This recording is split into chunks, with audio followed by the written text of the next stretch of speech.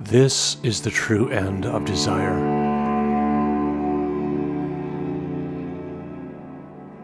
The closed ground deflecting sleet.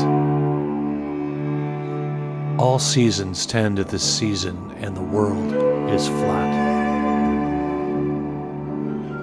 This is the true end of exploration. Over the low and the high seas, whoever fares may try lightly all edges but these. This is the true end of language, that way of ways all sound shaped to the one sound ice, echoing ice.